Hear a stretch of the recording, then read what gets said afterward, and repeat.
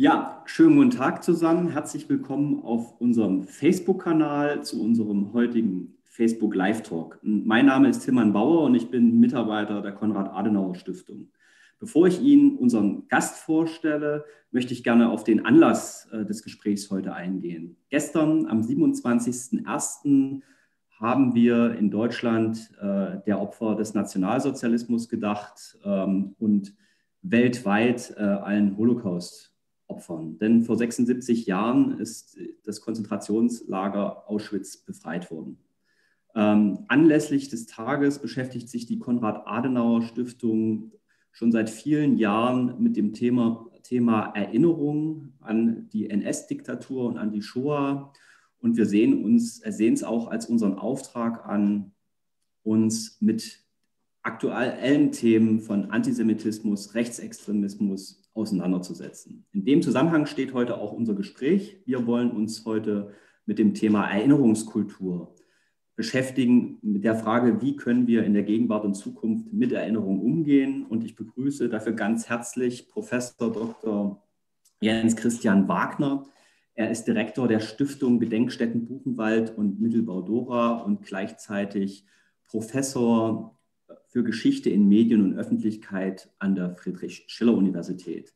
Beide Positionen, hatte gerade mir auch noch mal im Vorgespräch erzählt, hat er erst seit wenigen Monaten, seit Anfang Oktober äh, inne, aber er kennt Thüringen schon sehr lange, ähm, war in Nordhausen und Weimar aktiv. Lieber Herr Professor Wagner, ich freue mich, äh, dass wir heute hier zusammenkommen und um zu, auch doch zu dem wichtigen Thema hier auf dem Kanal ähm, mal kurz und knackig mit drei Fragen ins Gespräch zu kommen. Und ich möchte gerne einsteigen mit der Frage, ähm, was sind denn überhaupt die Aufgaben von Gedenkstätten, insbesondere für die Erinnerungsarbeit im Blick auf NS-Diktatur und Shoah? Na, wenn man es ganz knackig beantworten möchte, ähm, dann sind das eigentlich vier Begriffe. Und die heißen Forschen, Bewahren, Bilden und Gedenken fange ich vielleicht mal mit dem letzten Punkt an. Ähm, da kommen die Gedenkstätten her. Ähm, das Wort Gedenken steckt ja schon im Begriff drin. Ähm, es sind Orte ähm, nationalsozialistischer Massenverbrechen, an denen der Opfer dieser Orte, der Menschen, die an diesen Orten Opfer von Verbrechen geworden sind, gedacht wird im Sinne einer Würdigung. Ähm, Mittlerweile haben sich aber Gedenkstätten äh, sehr viel mehr auch zu ähm, Forschungs-, Lern- und Bildungsorten entwickelt. Und da kommen dann die anderen drei Faktoren mit hinein. Äh, bewahren, bilden und, ähm, und forschen. Wir erforschen die Geschichte, immer anwendungsbezogen. Anwendungsbezogen heißt zum Beispiel für Ausstellungen, ähm, für pädagogische Formate, für Publikationen, ähm, immer ähm, Produkte, die darauf ausgerichtet sind, in die Gesellschaft hineinzuwirken mit dem Ziel, historisches Bewusstsein und historisches Urteilsvermögen bei den Menschen zu stärken. Ähm, und das ist auch das Ziel unserer Bildungsarbeit. Bildung und Forschung sind ohnehin sehr eng miteinander verschränkt. Wir ähm, ähm, empfangen und betreuen äh, in Nicht-Corona-Zeiten täglich Dutzende äh, Gruppen von Menschen, die in die Gedenkstätten kommen, häufig junge Gruppen aus den Schulen, ähm, die ähm, mehr oder weniger intensive Formate, äh, Betreuungsformate in den Gedenkstätten buchen und dann von meinen Kolleginnen und Kollegen betreut werden. Ähm, am liebsten ist es uns immer möglichst zeitaufwendige und damit intensive, auch inhaltlich intensive Formate anzubieten, also Tagesprojekte oder sogar Mehrtagesprojekte. Ähm, und auch das Bewahren gehört dazu. Die äh, Orte, an denen wir uns befinden, die Gedenkstätten, sind auch historische Orte, sind Tatorte ähm, mit ähm, einer historischen, mit einer baulichen Evidenz. Es gibt Reste des Konzentrationslagers in äh, Buchenwald zum Beispiel ist das ehemalige Krematorium erhalten geblieben. Es sind einige andere Gebäude erhalten geblieben. Sie kennen sicherlich das äh, das Torgebäude äh, mit der schmiedeeisernen Tür, mit den Buchstaben, mit den Sätzen, äh, mit dem Satz äh, jedem das Seine. Das sind alles historische Relikte, die bewahrt werden müssen. Und dafür brauchen wir wissenschaftlich fundierte ähm, Konzepte, wie bauliche Relikte, aber auch zum Beispiel wie die, äh, die, die, museale Sammlung, die wir haben, auch das Archiv, das wir haben, wie diese Dokumente, die Beweismittel sind für die NS-Verbrechen, ähm, konserviert, erhalten bleiben können und wie sie natürlich auch inventarisiert werden können und für die Forschung zugänglich gemacht werden können. Da spielt das Stichwort Digitalisierung auch eine starke Rolle. Ja, und dann ähm, kommt die Bildung äh, ins Spiel, über die sprach ich eben schon. Und Bildung findet nicht nur statt, äh, indem wir Gruppen in der Gedenkstätte betreuen, auch sehr, sehr viele Einzelbesucherinnen und Besucher. Insgesamt gibt es in normalen Jahren etwa 500.000 Besucher in Buchenwald und etwa 60.000 in Mittelbau-Dora. Das ist ja die zweite Gedenkstätte, die wir als Stiftung betreiben. Sondern wir versuchen auch gewissermaßen zu den Menschen hinzugehen, indem wir ähm, unsere Webangebote sehr stark ausbauen und seit einigen Jahren auch in Social Media recht aktiv sind. Ähm, vielen Dank. Wir wollen ja heute ähm, sagen, insbesondere über das Erinnern sprechen. Ich denke, da, da, spielt der Bildungsaspekt und dann auch wieder der Forschungsaspekt äh, auf jeden Fall mit rein. Und daran schließt dann auch die zweite Frage an, äh, vor welchen aktuellen Herausforderungen, auch im Blick auf gesellschaftliche Entwicklungen beispielsweise, äh, stehen Sie denn da in Ihrer Arbeit? Im Grunde haben wir im Augenblick äh, drei große Herausforderungen, die zusammen doch eine gewisse Umbruchssituation in der Gedenkstättenarbeit bedeuten. Erstens ist das der Abschied von der Zeitzeugenschaft. Die, äh, es gibt noch einige Überlebende, die waren aber Kinder oder Jugendliche, Erwachsene, ehemalige Häftlinge, die im Erwachsenenalter befreit wurden, gibt es fast nicht mehr, weil die dann ja mindestens äh, an die 100 Jahre alt sein müssten. Ähm, in einigen Jahren wird es überhaupt keine Überlebenden mehr geben. Und es wird übrigens auch die äh, Erlebnisgeneration auf der Täterseite nicht mehr geben, die die deutsche Gesellschaft in den ersten Nachkriegsjahrzehnten stark geprägt hat. Ähm, das ist der erste Punkt. Der zweite Punkt ist, ähm, dass wir in einer Zeit leben, in der ähm, das Erstarken von Nationalismus, Antisemitismus, Rassismus, Abschottungspolitik, Europafeindlichkeit, Stichwort AfD, ähm, in Deutschland und aber auch in vielen anderen Ländern dazu geführt hat, ähm, dass äh, wir einen erinnerungskulturellen Klimawandel erlebt haben. Die Grenzen des Sagbaren haben sich nach rechts verschoben. Der Wind, der von rechts weht, ist stärker und er ist kälter geworden. Äh, auch damit äh, müssen wir uns auseinandersetzen. Und der dritte Punkt ist, und das bedingt sich alles einander, also eigentlich alle drei Punkte bedingen sich einander. Also Abschied von der Zeitgenossenschaft, ähm, äh, erinnerungskultureller Klimawandel nach rechts. Und der dritte Punkt ist, äh, worauf ich hinaus möchte, ähm, äh, ist unsere mediale, unsere digital-mediale Gesellschaft, nämlich der Umstand, dass ähm, Wissenserwerb, dass äh, politischer Diskurs, dass auch historischer Diskurs mittlerweile nicht mehr in den klassischen äh, Lehrbüchern stattfindet, die wir alle in den, Bücher, in den Regalen stehen haben, ähm, und auch nicht mehr im Fernsehen, so wie das vielleicht noch vor 20 Jahren der Fall war, sondern im Netz. Und im Netz haben wir es mit äh, sehr viel ungefilterter Information zu tun, was prinzipiell erstmal nicht schlecht ist. Aber bei dieser ungefilterten Information ist sehr viel Fake History dabei, ist Desinformation dabei. Und ähm, diese drei Punkte, die ich eben erwähnt habe, die bedingen sich gegenseitig. Es fehlt sozusagen das Schutzschild der moralischen Autorität der Überlebenden. Der Wind von rechts wird stärker und gleichzeitig erleben wir Desinformationen im Netz. Und das alles führt dazu, dass wir mit ähm, sehr viel mehr Geschichtsrevisionismus zu tun haben, als das noch vor einigen Jahren der Fall gewesen ist. Und äh, diesem Problem müssen sich die Gedenkstätten stellen. Wir müssen neue Konzepte entwickeln, methodisch ähm, medial, ähm, aber auch inhaltlich, wie wir Gedenkstättenarbeit zukunftsfähig aufstellen können.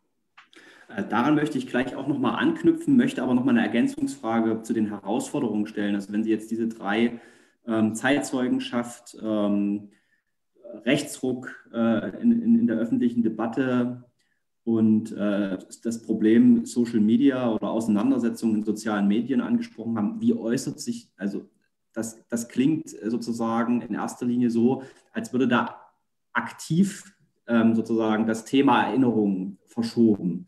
Ähm, aber man könnte ja auch sagen, also wir hatten es im Vorgespräch auch mal darüber gesprochen, Sie haben sich ja in der letzten Zeit auch geäußert zu Schlittenfahrern ähm, an der Gedenkstätte, dem man jetzt ja keine aktive Gegenhaltung oder ein aktives sozusagen ähm, Leugnen oder eine Kritik gegenüber sozusagen der Erinnerungskultur unterstellen möchte, sondern eher ein Unwissen. Ähm, wie ordnet sich denn sowas ein in der Praxis dann?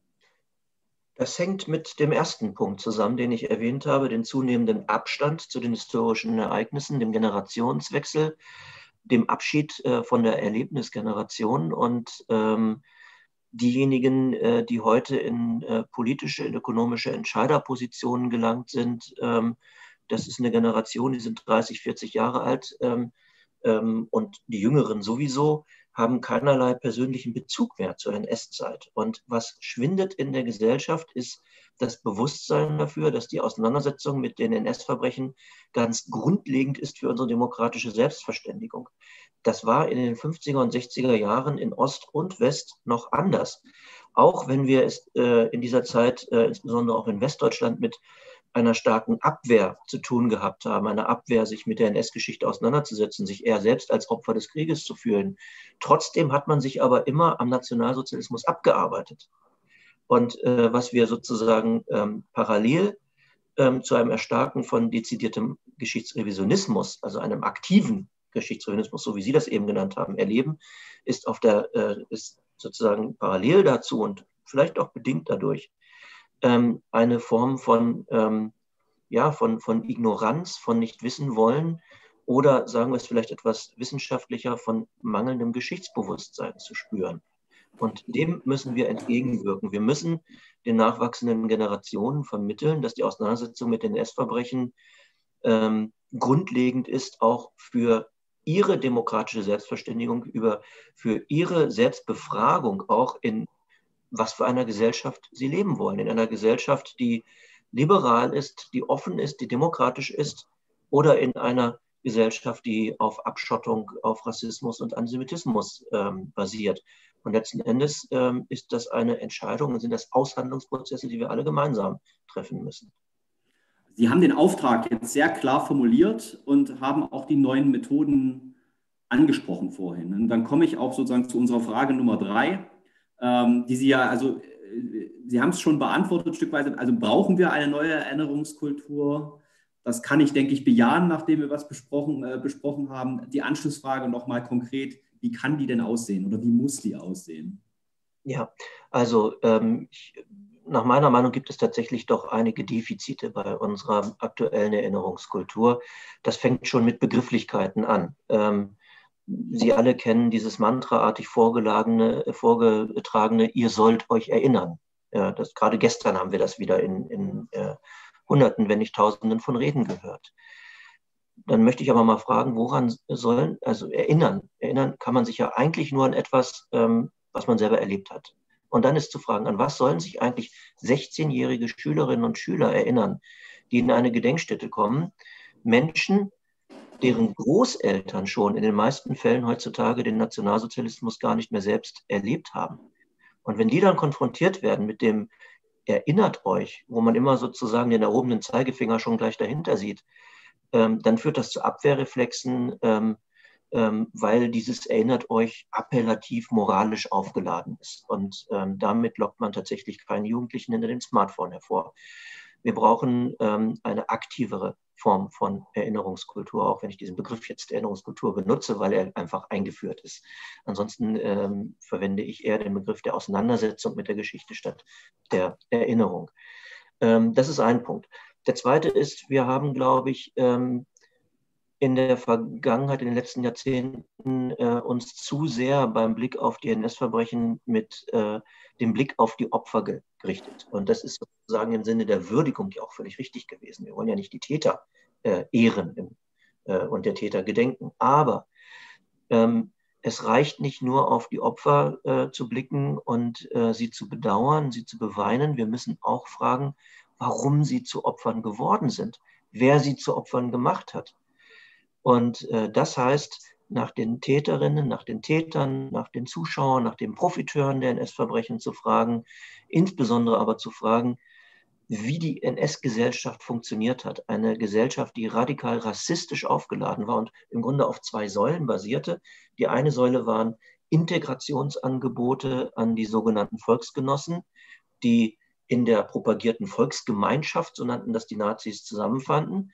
Und die andere Säule waren die Ausgegrenzten, die Verfolgten und am Ende Ermordeten, die nicht dazugehörten. Und die Wechselwirkungen zwischen diesen, der Inklusion und der Exklusion, ähm, die müssen wir in den Blick nehmen und uns dann auch mit der Frage beschäftigen, was so viele Deutsche veranlasst hat, bereitwillig äh, mitzumachen, selbst mobilisierend sich in den Dienst des Regimes zu stellen. Es ist ja nicht so, dass die NS-Täter irgendwelche ähm, Nazis vom fremden Stern gewesen wären, sondern es waren Deutsche. Und, äh, und es waren nicht wenige Deutsche. Und, ähm, und sehr, sehr viele haben mitgemacht, deutlich mehr, als äh, sich versucht haben zu entziehen oder gar Widerstand zu leisten. Und wenn man das durchdekliniert, warum so viele mitgemacht haben, dann äh, sind das zum Beispiel Punkte wie äh, die Gewöhnung. Ja, die NS-Verbrechen sind ja nicht 1941 mit dem Überfall auf die Sowjetunion vom Himmel gefallen, sondern es geht eine lange Phase von schleichender ähm, Entrechtung im Diskurs, in der Praxis, ähm, über, äh, ja, aus der Entrechtung über die Verfolgung, ähm, dann am Ende bis zum Mord. Ähm, das geht, das ist eine lange schleichende Phase. Ähm, dann spielt sicherlich auch äh, eine ganz, ganz große Rolle spielen ähm, Kriminalisierungsdiskurse gegenüber den Ausgegrenzten. Die KZ-Häftlinge wurden der deutschen Bevölkerung als gefährliche Verbrecher dargestellt, von denen die Bevölkerung geschützt werden müsse. Und das wurde gerne geglaubt. Äh, Verheißungen der Ungleichheit spielten eine große Rolle. Den Deutschen wurde erzählt, wenn wir andere ausgrenzen, wenn sie sozusagen rausgenommen werden aus der propagierten Volksgemeinschaft, dann wird es euch besser gehen weil es dann nämlich welche gibt, die ihr, die ihr ausbeuten könnt, denen es noch schlechter geht.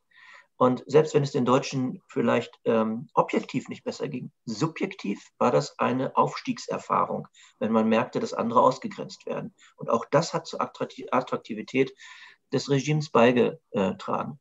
Und Sie ähm, ahnen vermutlich, worauf ich hinaus möchte. Die Punkte, die ich eben erwähnt habe, sind äh, gar nicht genuin nur nationalsozialistisch bedingt, sondern entfalten bei vielen Menschen auch heute eine mehr oder weniger starke Wirkung. Und so können wir sauber aus der Geschichte herausgearbeitet, sozusagen wissenschaftlich begründet und ethisch fundiert Aktualitätsbezüge herstellen und ähm, damit der, ähm, den Besucherinnen und Besuchern der Gedenkstätten ähm, verdeutlichen, dass eine Auseinandersetzung mit den NS-Verbrechen auch mit ihrem heutigen Leben zu tun hat.